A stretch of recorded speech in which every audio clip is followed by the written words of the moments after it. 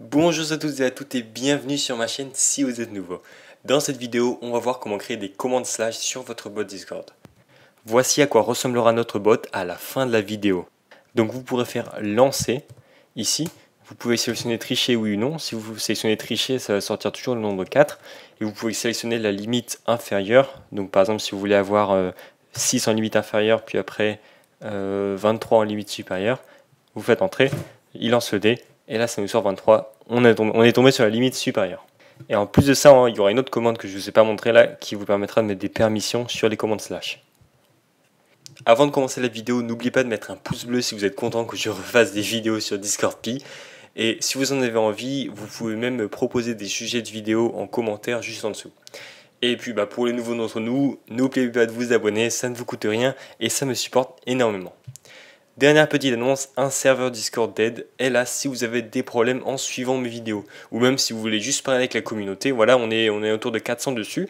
Et euh, voilà, donc c'est une bonne petite communauté si vous voulez parler là-bas. Sans plus tarder, on rentre dans le code. C'est parti avant de pouvoir écrire nos slash commands, il va falloir installer euh, la librairie, le module qui s'appelle discordp slash command. Donc pour ça, vous allez dans la description, vous allez voir ces lignes-là. Si vous êtes sur Linux, macOS, vous copiez ça. Si vous êtes sur Windows, vous copiez ça. Vous le collez ensuite dans votre terminal ou CMD si vous êtes sur Windows, CMD hein, sur Windows.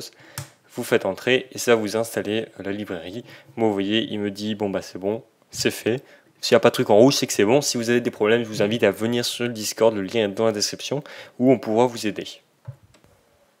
Quand vous voudrez inviter votre bot, il va y avoir une petite spécificité au moment euh, de l'invitation du bot. On va devoir lui dire qu'il veut faire des slash commandes, des commandes slash. Donc pour ça, on va aller dans host2 comme on fait d'habitude pour créer le lien du bot. Ici, comme d'habitude, on va cocher bot. Comme d'habitude, vous sélectionnez les permissions. La différence ici, c'est qu'on va cocher la case application commande. Et ça, ça veut dire, bah, moi, je vais faire des slash commandes. Donc, on va copier ce lien. On va venir le coller ici. Hop. Vous sélectionnez. Continuez. Authorize. Et là, vous faites le captcha. Donc là, c'est intéressant parce que Discord a mis à jour son captcha maintenant. c'est beaucoup plus simple à faire. Il n'y a pas de puzzle ridicule à faire. Voilà, c'est bon. Notre bot vient d'être invité ici. Et là, on va pouvoir faire des slash commandes. Pour créer notre commande slash, on va tout d'abord devoir importer le module qu'on a installé précédemment.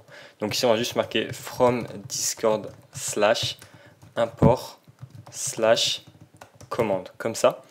Et ici, on va devoir définir, on va devoir créer euh, le slash commande un peu comme ici, euh, lui dire qu'on va avoir des slash commandes dans le bot. Donc on fait slash égale slash commande bot, et là on va, on va marquer sync commands égale Donc cette ligne-là, c'est un peu comme euh, cette ligne-là ici, c'est des lignes de configuration qui disent qu'on va faire quelque chose. Donc là, on dit qu'on va avoir un bot.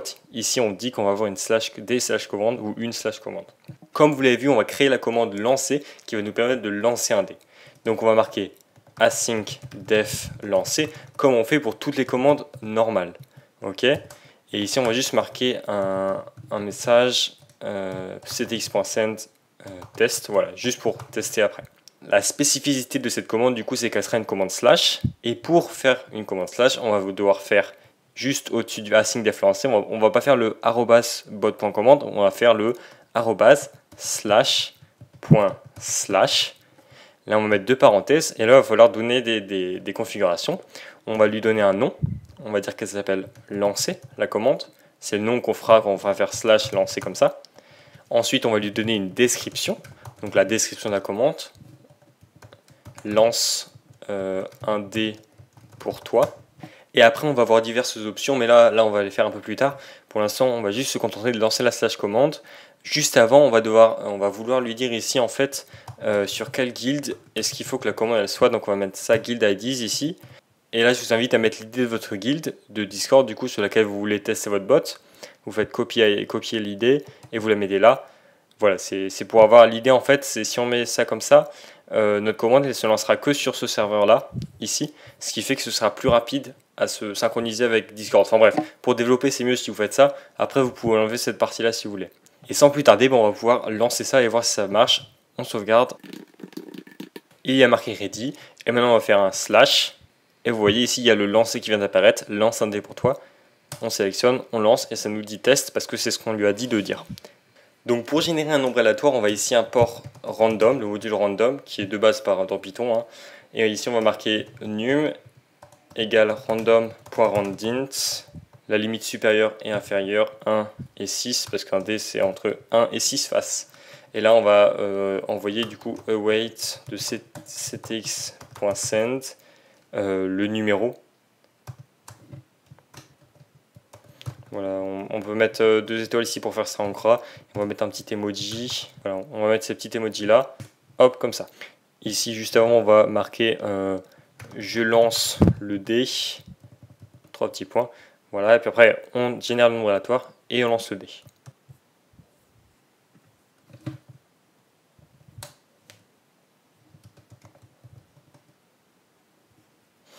Voilà, donc là, ça nous a dit je lance le dé, puis après 5, ça a bien lancé le dé. Maintenant, on va vouloir ajouter des euh, paramètres à la fonction parce que par exemple, dans les fonctions qu'on faisait comme ça, on pouvait dire par exemple lancer 9 pour dire qu'on veut lancer que le chiffre ici il est jusqu'à 9. Et euh, bah, ça, pour l'instant, on n'a pas vu comment faire en slash commande, mais vous inquiétez pas, c'est bien sûr possible. On va devoir créer euh, des, des, options, ça s'appelle. Donc ici, on va mettre option égale. On ouvre un crochet, donc ça, ça va être une liste. Donc là, je vous invite à sauter la ligne et à commencer ici à écrire parce que ça peut être assez long vers le bas. Donc histoire de bien formater tout. On va utiliser une fonction qui s'appelle create option qui a un nom. Donc par exemple limite euh, inférieure. Donc le plus bas, donc celui-là, en ce moment c'est 1. Ici, description. Donc ça c'est euh, le plus le nombre le plus bas que le D peut donner. Ensuite, on va devoir définir un option type. Donc, il y en a plusieurs. Vous avez un tableau qui s'affiche à l'écran. Là, dans notre cas, c'est un integer, donc c'est le 4. Et enfin, on dit est-ce que c'est requis? Bah non, on peut lancer le D euh, sans forcément avoir défini ça. Ce sera juste entre 1 et 6. Cette fonction-là qu'on utilise, en fait, on ne l'a pas encore importée, donc on va l'importer juste en haut ici. On va marquer from discord slash dot utils manage commands import create option. Voilà, cette ligne-là pour apporter euh, cette fonction-là. Et euh, là, donc, on a notre limite inférieure qu'on va vouloir récupérer après juste ici, comme on faisait pour les arguments normaux, hein, sur les commandes euh, normales. Donc, on va marquer limite inférieure. Ah oui, d'ailleurs, c'est inférieur ici avec un nœud. Je, suis en anglais, moi. On va lui donner une valeur par défaut. Donc, si elle n'est pas renseignée ici, ce sera égal à 1. Si elle est renseignée, bah, ce ne sera pas égal à 1. Et on va faire pareil avec une limite euh, supérieure. Donc là, je viens juste de tout copier. Limite euh, supérieure. Le nombre le plus haut que le T peut donner, voilà. Et là, on va juste marquer euh, limite supérieure égale 6 par défaut. Bien sûr, si ça change après, si la personne met un nombre ici, bah, ça va changer juste ici.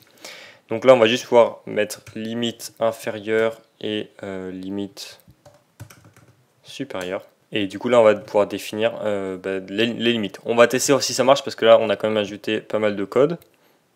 Ah oui, j'ai juste oublié ici à la fin de la ligne, il faut bien rajouter un virgule à la fin de cette ligne ici. là. C'est parce que c'est une liste en fait. Donc, il faut mettre des virgules entre chaque élément de la liste c'est lancé, on va pouvoir faire lancer. Et là, vous voyez qu'on a euh, deux arguments optionnels, limite inférieure et limite supérieure. Donc là, si on veut juste lancer comme ça, c'est possible. Il va faire entre 1 et 6. Et si on veut lancer par exemple avec les limites, donc on peut mettre une limite inférieure ou une limite supérieure. C'est euh, un des deux au choix, après on peut supprimer. Vous voyez, on peut en choisir qu'un seul. On va mettre les deux nous pour tester. Donc limite inférieure par exemple à 5 et limite supérieure à 20. Hop on lance, je lance le dé. Vous voyez, il a sorti 8, ce qui ne pouvait pas sortir avant. Là, c'est avec les nouvelles limites qu'on a mis, euh, inférieur et supérieur à 20. Et maintenant, je sais pour ceux d'entre vous qui adorent jouer euh, au, dé, mais qui n'aiment vraiment que quand ils gagnent, et eh bah ben, vous inquiétez pas, j'ai quelque chose sur vous. On va vous donner la possibilité de tricher. Alors, pour ça, on va, on donner une option ici euh, qui s'appelle tricher. Voilà. Ce sera du coup oui ou non. Et pour ça, on va créer du coup encore une fois une option ici. Au moment de lancer la slash commande, donc ce sera une option qui s'appellera tricher ici, et tu sélectionneras oui ou non je veux tricher. Et si tu tricheras, et eh ben, ça sortira 4 tout le temps. Donc par exemple, tu voudras faire un pari, hop, je parie que ça va sortir 4, tu lances la commande, tu mets tricher, et les autres ils seront pas au courant que tu auras mis tricher à oui, enfin sauf s'ils regardent là, mais on va dire qu'ils regardent pas. Bref, on va créer l'option qu'on va appeler euh, tricher. Cette option-là, elle sera un peu spéciale parce qu'on va donner une euh, liste de possibilités. Donc vous allez voir, hein.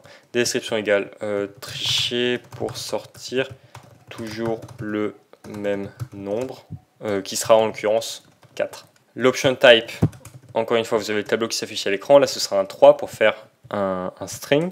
Donc on va juste formater ça bien. Hein. Hop, hop. Je retourne la ligne à chaque élément parce que ça va prendre un peu de place. Donc celui-là, il est required, donc parce qu'on veut savoir est-ce que, est que lui veut tricher ou est-ce qu'il veut pas tricher. Et là, on va donner un choix à l'utilisateur. Donc pour ça, on va faire choices égale, encore une fois, une liste ici. Et on va utiliser le create choice. Là, on va faire, euh, on va devoir l'importer d'abord. Donc ici, on importe create choice. Juste après euh, le import create option, tu mets une virgule et tu mets create choice. Là, lui, il prend un nom. Donc le nom, c'est ce qui sera montré à l'utilisateur quand il va faire la commande slash. Et on a une valeur. Et la valeur, c'est ce qui sera passé à la variable ici. Donc s'il sélectionne oui, c'est Y qui va être envoyé ici. et on va faire pareil avec non, parce qu'on veut quand même leur laisser la possibilité d'être honnête. Donc non égale euh, non la valeur, du coup, on va mettre non. Donc ça, c'est yes. Hein. Ça, c'est pour oui, pour yes et y, n. Voilà. Donc là, si tricher, c'est égal à y, ça veut dire que l'utilisateur veut tricher. Si c'est égal à n, ça veut dire qu'il ne veut pas tricher. Donc, si on va faire ici euh, if tricher égale y, donc l'utilisateur veut tricher, on va juste mettre le num à 4. Voilà, donc on a lancé, euh, on a fait un truc random, mais en vrai, on va, on mettre ça à 4 quand même. Oups, pardon. Et après, on va envoyer bah, comme si de rien n'était. Ah, encore une fois, j'ai oublié la virgule ici. On teste? Lancer, vous voyez, on a, le truc tricher qui est apparu, donc celui-là, il n'est pas optionnel. Hop là, on va faire tricher. Là, c'est là que c'est intéressant. On peut choisir oui ou non. On va choisir oui, nous. Et hop, on fait tab. Et attention, c'est 4 qui est sorti. Et c'est là que vous pouvez tricher du coup avec vos amis euh, qui vont pas rester vos amis très longtemps. Donc là, pour l'instant, on a vu comment créer une commande slash, on a vu comment donner des choix, on a vu comment faire une liste de choix. Et il y a une dernière chose que je voudrais vous montrer aujourd'hui, c'est euh, comment est-ce qu'on peut définir des permissions pour euh, que certaines personnes ne puissent pas faire des commandes slash. Donc pour ça, on va créer ici un rôle modérateur très rapidement. Hein. Hop, modérateur, créer. On va mettre ici modérateur, hop, sélectionner. Et euh, voilà, on va hop, là j'ai créé un, truc modérateur. Euh, on va dire qu'on peut que faire la commande, on va créer une autre commande là, et on va dire qu'on peut que la faire seulement si on a ce rôle là. Donc on va créer une commande ici au-dessus, euh, on va même la faire en dessous, c'est quoi, ça va être plus simple. Attendez, hop. Donc on va faire la commande bonjour, parce que j'aime toujours faire une commande bonjour, ou coucou aussi, coucou j'aime bien faire. On va faire bonjour aujourd'hui. Et cette commande, on va juste la faire envoyer euh, ctx.send on va juste marquer le nom de l'utilisateur, display name, euh, dit bonjour. Voilà, donc par exemple, Titouan dit bonjour. Ok, cette commande-là, bah, encore une fois, une slash commande, donc slash point slash, comme pour toutes les slash commandes, et on va l'appeler bonjour ici. Donc vous pouvez avoir un nom bonjour ici et un nom de fonction différente. Ok, et c'est ce nom-là qui compte. Ok, pour les slash commandes en tout cas. Description. Euh, cette commande dit bonjour. Donc là, si on essaye maintenant, ça va être possible pour tout le monde de la faire et on va donner des permissions. Donc on va faire slash permissions, permission. Les permissions, ce sera sur une guilde parce qu'en fait, euh, c'est par guilde des permissions. Donc il n'y aura pas forcément les mêmes rôles sur cette guilde-là que sur celle-là. Donc nous, on veut euh, faire les permissions pour cette guilde-là seulement. On va faire copy ID. Hop, alors ça vient de me faire rappeler aussi, ici on va mettre le guild IDs comme on avait fait pour celle-là. On va le mettre ici aussi. Comme ça, ça va c'est plus rapide en fait pour développer si vous mettez, si vous mettez ça là. Donc ça c'est l'idée euh, du serveur. Donc ici on va devoir le dire euh, pour le serveur avec cette idée là. Et là on va définir les permissions. Voilà, on fait une liste. On va utiliser la fonction create permissions. Donc encore une fois, il faut l'importer. Hop, juste ici. On va marquer create permission et là on va marquer pour un rôle. Donc pour quel rôle est-ce qu'on va mettre ça autorisé et pour quel rôle on va mettre ça interdit? Alors pour le rôle everyone, on va mettre ça interdit bien sûr. Hop, on copie l'idée du rôle everyone. Donc pour ce rôle-là, c'est slash command permission. Oh là, attendez, permission type.role. Donc là, on dit ce, cette idée-là, c'était un rôle et on veut que ce soit interdit, donc faux. Donc il n'a pas le droit d'exécuter la commande. Cette idée-là, qui est un rôle, n'a pas le droit d'exécuter la commande. Alors ça, c'est un peu euh, une ligne un peu longue, mais il y a, besoin de la mettre. Euh, on va faire la même chose après avec notre rôle mode. Donc ici, on va, on va changer l'idée. Et on va mettre, oui, le rôle mode, il a le droit de faire ça. Donc on récupère l'idée du rôle mode. On met juste ici. Et euh, là, on dit donc ce rôle-là, cette idée de rôle-là, elle a le droit de faire la commande. On save et on va relancer ça tout de suite. On va voir si ça fonctionne.